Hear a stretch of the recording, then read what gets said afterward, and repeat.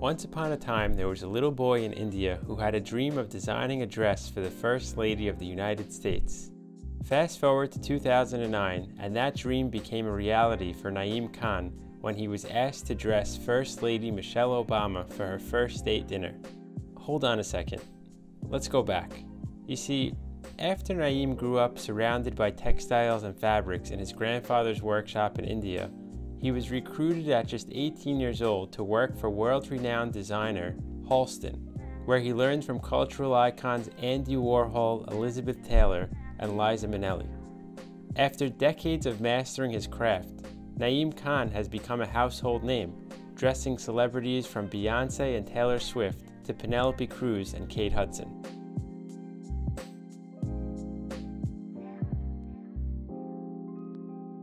This is the story of how a little boy from India pursued the American dream and created a brand synonymous with glamour and elegance. The entrepreneurial spirit is the cornerstone of the American dream, a beacon to all willing to weave their story into the fabric of our history. I'm Elliot Dweck, and this is From the Founder. Yes. Hi, I'm Elliot. Oh, you Elliot. How? Nice to meet you. Great to meet you. Okay, we're gonna have fun. We're gonna do this. Very excited. It's great to be here. Thank you for having me here in this beautiful office. Thank you, Elliot. So nice to be with you. So, let's start from the beginning. Mhm. What was your earliest memory as a kid? My earliest memory as a child is growing up in India, where I was born in a little village north of India, very, very poor.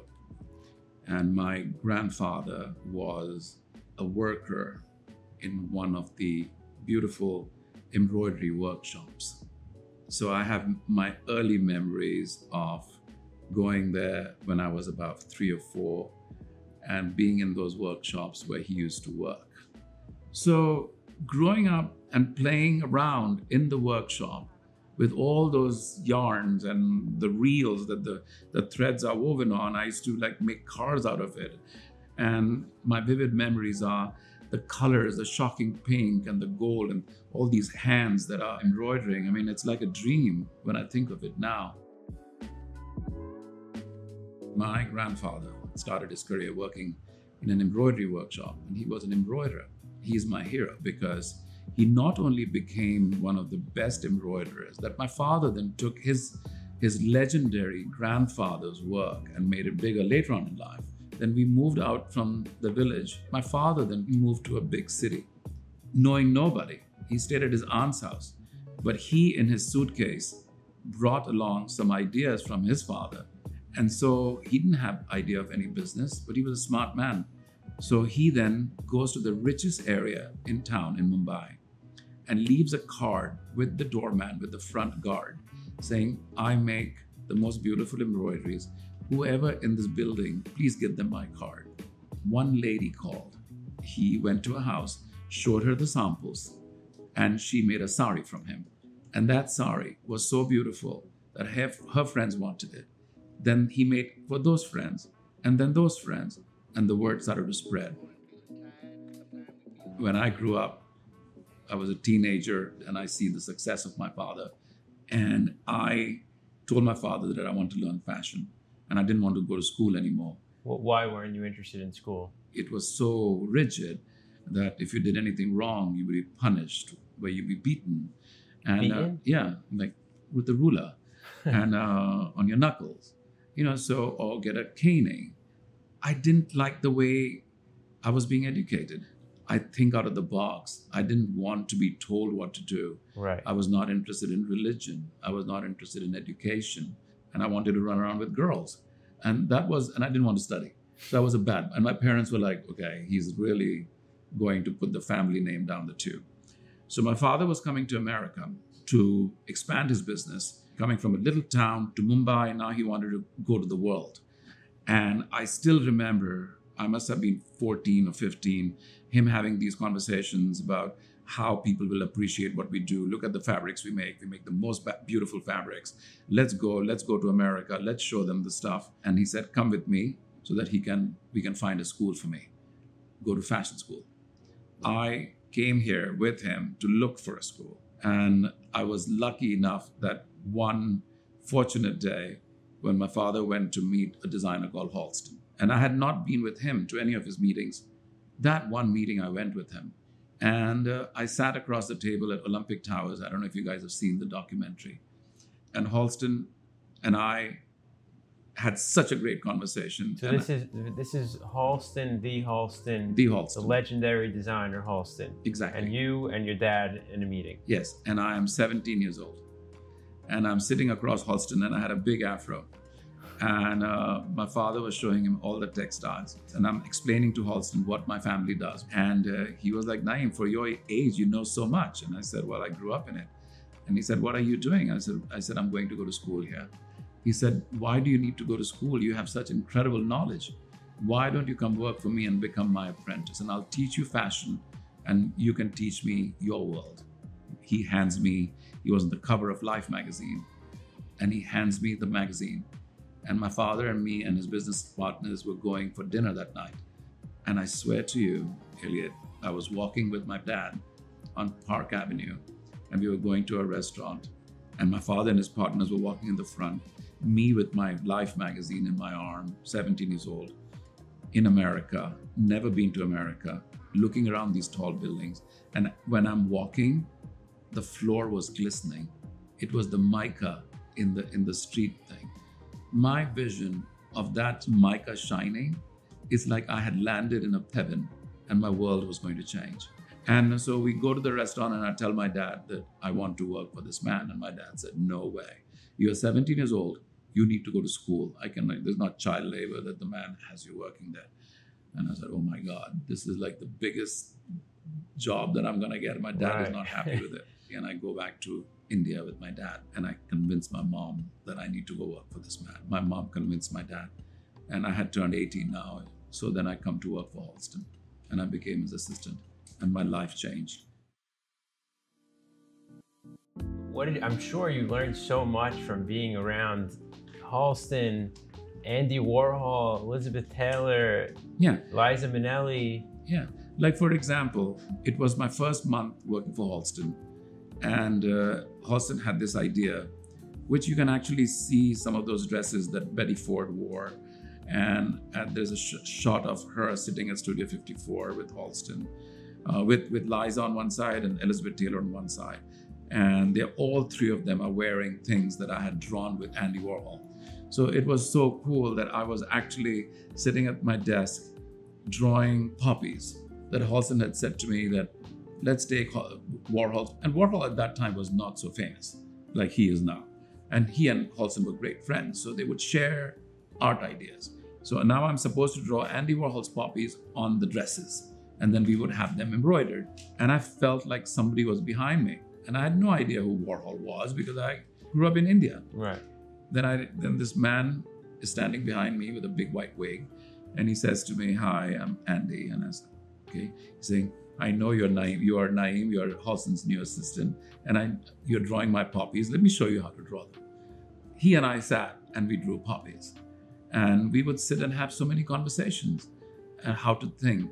Look at a flower. What do you see in a flower? Why do you what do you see? I, I, would, I would think that I see a flower. He's saying, no, look beyond. Look at the petal. Look at the shades that are falling on the petal. Look at the center.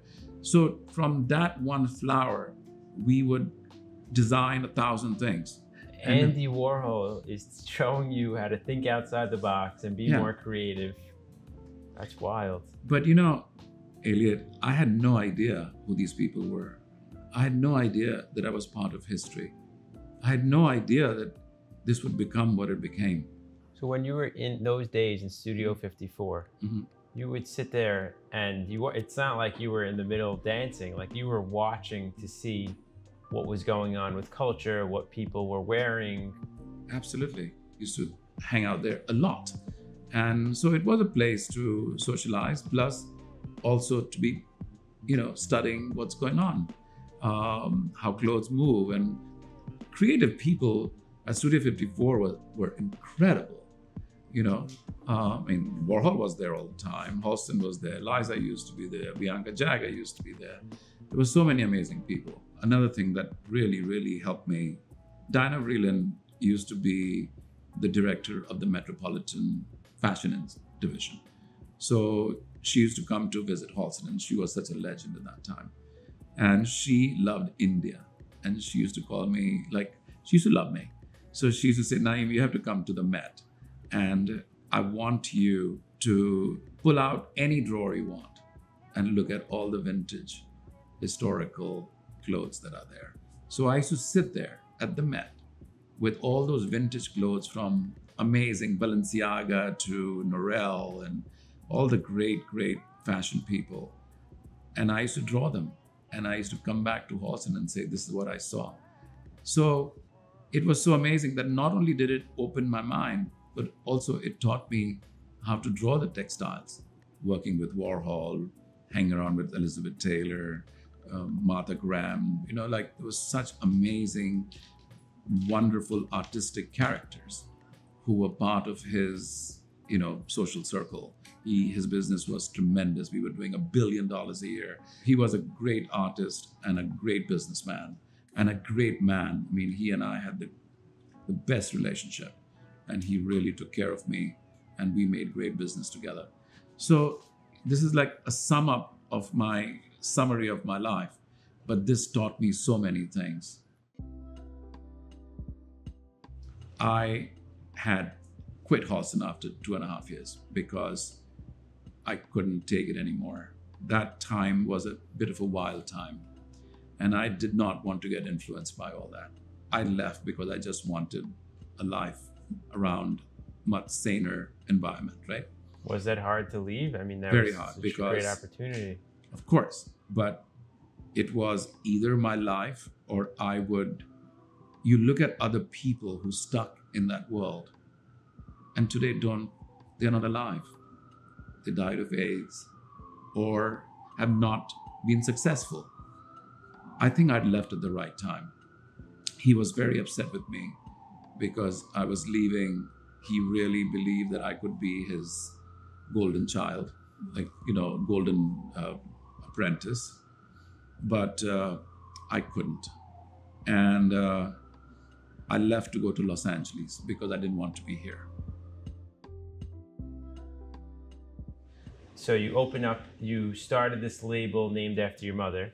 Yes. The name Riazee, my mother's name, I made that name the company because I felt the love of my mother that she would protect me. So I go to LA, I get myself a studio. I'm on Rodeo Drive on the second floor of this beautiful office that I had, Frank Lloyd Wright. And I started my design house and I hired Francesca Hilton, daughter of Zsa Gabor, to be my PR. And I had amazing people. Frank Great. Sinatra would come in with Barbara Sinatra. Gregory Peck would walk in with Veronique Peck. And I was making dresses for all these amazing Hollywood people, right? And they're paying you? No, they're not paying me. And that was the biggest disaster. Everybody wanted a discount and then take this and do that. And in eight months, I had run my business down to the ground to the point where I really, really didn't have any money to even pay for my rent or even to like when I'm at the grocery store. Is like, do I buy the $2 chicken or the $4 ch- chicken? I mean, it had become to that point. And I was like, what am I going to do? I left my amazing job. I went and started my studio thinking I know everything. And I'm calling my father, like, you know, dad, I need my father saying, do what you have to do. Like, they didn't want to have anything to do with me.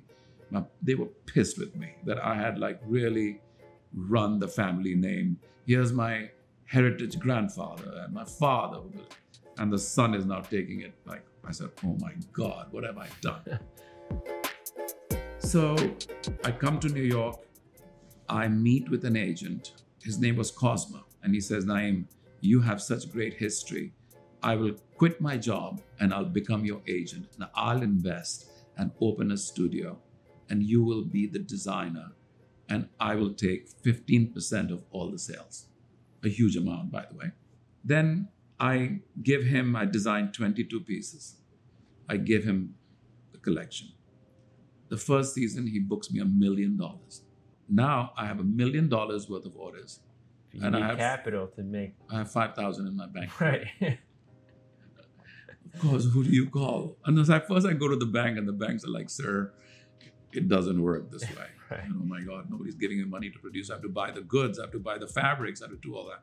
So I called up my dad, and my dad, of course, then everybody became like, okay, he's putting himself back together again, slowly redeeming myself. Give him another shot. Give him another shot. No, it's not like that. They were like so happy. Everybody cried. Everybody made up. We missed you. And uh, then my dad loaned me 300,000 and I had that money to start my business. And I used that money to now sold all the goods. I used to not only design, the stuff would pre-pack and arrive. I would pack the goods myself to ship to the stores. My wife and I would carry the boxes to the UPS truck. That's how we did that for two years. So now we were making such a huge amount of profit. We I returned the money to my dad, and my dad, of course, didn't want to take any interest or anything with the family. And now I'm like a million dollars in my bank account. Happy. Of course, then I bought a house in Connecticut, I bought a fancy car, and I'm living my life, right?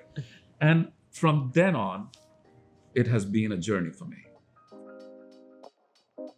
Till in 2003, finally I felt that I was ready to go and make Naeem Khan me. And What, what made you feel that way? I just felt that I had learned enough that I did not want Naeem Khan from day one because what happens if I falter? And if I destroy that name, like what happened to me in LA? And nobody would want Naeem Khan as a brand. Right. So I wanted Riazee as, as the brand. Let me practice with that first. So 14 years I practiced and I understood logistics. I understood manufacturing. I understood my relationship with the stores. I understood all that stuff. And now I, I was ready in 2003 to come and have my first fashion show under Naeem Khan What did that feel like? incredible.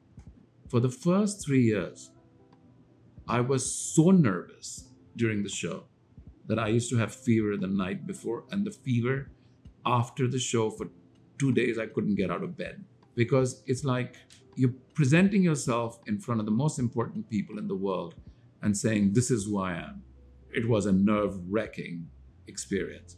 Now you can put me anywhere and I don't give a damn. I mean, I, I, Yeah. I'm like, you know, it's like I've done it so many times. So, uh, not only did they not say anything bad about you, on the contrary, I heard a quote that there's no show like, like a Naeem Khan show. yeah, you know, it's like an Indian wedding, right? I love drama. I like, but drama with taste, obviously.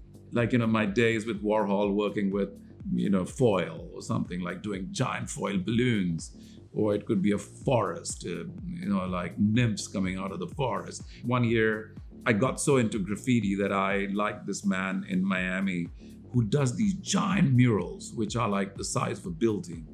So I said, okay, how fast can you make a mural? He said, I can make a mural in like four hours, size of a two story building. I said, okay. So we had curtains. The curtain opens, and there's a man on a ladder with spray cans painting this amazing mural live. While you're coming into this show and you're sitting down, there's a That's so man cool. painting. And then the lights go down. There's the fashion show is about to start. And the spot goes on the man.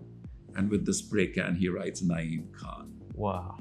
And then he leaves, and then the girls start to come up. So you see why there's no That's show like cool. Naeem Khan. That's cool. it's all drama, right? So there's a very specific breakthrough moment in your career that I think it's important to talk about. Mhm. You might know what I'm going to say. It was in 2009. Mrs. Obama. Mrs. Obama. oh my God. There is a crazy story, though, which I want to tell you. When I was young, I must have been 15, 16, and I was dating somebody in India, my girlfriend. And I was telling her that I'm going, I think I'm going to go to America, and uh, my father's thinking this. And we were talking about, like, I want to be in fashion. And I said, one day, I'm going to design a dress for the First Lady of the United States. and um, forgot about that. Life goes on. 2000, whatever, nine, right? I get a call. First day dinner, Indian Prime Minister coming. Mrs. Obama wants to wear your dress. You have two weeks. Two weeks? Oh my God, measurements. Can't give you measurements because cannot release measurements of the First Lady. So how are you gonna? Because being in the business for so long, you understand from a photo, I can take the division of your face and that becomes my average and I can multiply the rest of your body. Wow. It took me a few days to think how am I going to do this? My history. What, what is it going to be? So I took my time at Warhol, like with Warhol. So I took the poppies, inspired by poppies, not copied by Right. poppies, and drew them on a style which was very simple, clean, Halston a la Marilyn Monroe. Happy birthday, Mr. President. Put nude, like a champagne color tulle, drew the poppy, send it to my, had somebody get on the plane, go to India, sit there. But what embroidery do I want on the poppies? My grandfather's workshop with a hundred people making metal sequins from sterling silver. And when they cut it, they punch it by hand, each sequin.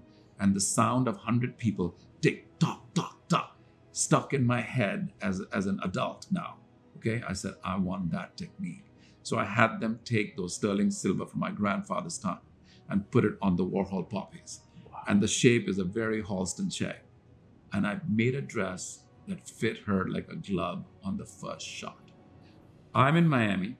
I am in my bedroom watching TV for the for that state dinner, hoping something will happen. Nothing happened. Nothing happened. I go for a shower. My wife comes screaming, "Oh my God, she's wearing your dress!" I'm in my towel with water dripping down me, standing there in front of the TV and watching the dress. And I'm saying, Oh my God. Next thing, five minutes later, my phone rings. Hi, my PR. CNN wants to talk to you. Get ready. Car's coming to pick you up. Boom, I'm at the CNN office. Larry King, all these people. What's going to happen to Naeem's career? Naeem, what do you think? I'm like, oh my God. It was just the most insane moment. Next thing you see in the morning, there is all press at the bottom of my building. I mean, it was insane. I was on every cover, every magazine across the world. You know, one thing in your life can change your career. And that was my most important moment. And I hope I have some more other great moments, but that was one of them. What And- what did what did you feel like that day? Oh my God. You know, it's the most incredible feeling ever. I was thinking of my time sitting there with my girlfriend saying, I want to design that dress for the first lady. And look how it happened. I mean, I could not stop beaming for the next week. And that next day, you were the third most Googled person in the world. exactly. That's crazy. And she wasn't the only first lady. No, then it was, you know, Duchess of this and Kate Middleton, Duchess Kate of Middleton, Cambridge. Duchess of Cambridge. When I saw the list of celebrities that you've dressed, I was like J Lo, Taylor Swift, Beyonce, like all of these women wearing your gowns. You know, it's a it's been a great ride. So, how has your business changed after Michelle Obama wore your dress? business changed a lot. I mean, it became 10 times bigger. Uh, we were in many, many stores across the world. From 80 stores, we were now in 200 stores. And, um, and now, you know, business became bigger and obviously, you know, volume, production, everything increases. But my business is not a kind of business that you can be having a private plane and it's not a mass, it's not Ralph Lauren. So, in order to make giant money in my business, is having a volume business. And you cannot do it with the clothes I make. Let's talk about the process. Mhm. There's so many people involved. Mhm. There's a few different countries involved in Yeah. every single piece. Yeah. So, how does it start? So obviously it starts with an idea that I have. And every piece that I make or every embroidery that is there is drawn by me, right? So the way it starts is like this. I wake up in the morning with 10 ideas. Now you start making the patterns. I fly to India. And I actually create the embroideries myself with my artisans and my team, right? How much glass do you put? How much plastic do you put? How much thread do you put? And then those patterns that I created at the board, I start putting those embroideries into those patterns. It goes to my factories in India. Then, but the fabric comes from Europe. And sometimes the fabric can be from two different places. Let's say the tulle is coming from Paris and the organza is coming from Italy, and we are patching the two together. And the beads are from Right. Czechoslovakia, and the crystals are from Austria, and the artisans will start embroidering. Usually on a dress, you have between 15 to 20 people on one dress. So imagine I'm making a collection of 100 pieces. How many people do I need?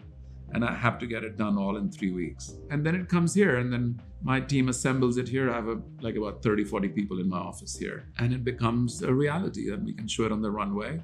And the fashion shows are huge. You have about three, 400 people involved in the fashion show, 50 models, 80 dressers. You know, I I mean, it just is insane that the thing is a zoo. And and then you start selling. Wow.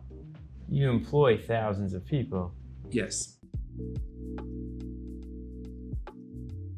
Now, your company, you've had many offers to sell your company, and you rejected all of them. You Mhm. retain 100% equity. Mhm. What's your mindset when it comes to that? Look, some people can say that how I think is wrong. My thought is very different. My thought is the quality of my existence, it has to be better than the amount of money I have. And what this business provides me is an incredible life of pleasure that I get from designing and having this fanciful, fantastic, creative business that makes me so happy. Now, your wife was from the same city as you, but you didn't know her growing up. No. So we went to the same school. She is three years older than me. But, you know, when you are 15 and she is 18, 19, she doesn't give a damn for you. You're a kid. So I used to look at her. She would be gorgeous, and she was the number one athlete in school. So she used to win all the championships. I read that you were captain of your sports team. You love playing cricket. Yes, when I started to win, she noticed me, but we didn't. But I was younger. So then, after school, she left to go to college and became a model, and she was number one model in India. So when I came to America, it so happened that she was supposed to get married to somebody, and she came here, and somehow she didn't like this, the man she is supposed to get married. And her best friend, his younger brother, is my best friend, but he was here, and I was having a dinner, and I- I had invited him, and he said, "Can I bring her?" That's how our Wow. relationship started. And my first date, I spilled all my wine on her. I mean, it was like I was so nervous. And she was like, Who's this fool? This kid. but you know, life is strange. You, You, did something right. I did something right, but you know, you have to keep persevering. And I have always believed that if you have a dream and you wish for it and you you go for it, you really can get it 90% of the time. And she was my dream, and so was the life I have right now. And I have made this dream. Do you want the same thing for your kids in this business? Yes, my grandfather helped my father. My father helped me to build my brand. Now I'm going to make sure that my sons carry the torch. That's beautiful. Yeah. What what advice would you share to aspiring entrepreneurs? So it has been an amazing up and down journey, but I have kept the business small, very boutique, highly profitable, not being totally ambitious to the point where I can lose my shirt. No partners. I own 100% of the brand, and I have built this business a brick at a time. But in order to create this golden brand, it's taken me 40 years. And there have been many years where you take one step forward and 10 step backwards, but you just stick with the plan and you keep going. I think we got to end on that. Naeem, thank you so much. You're a very humble man, Thank you. a family man, Thank you. and of course, a fashion icon.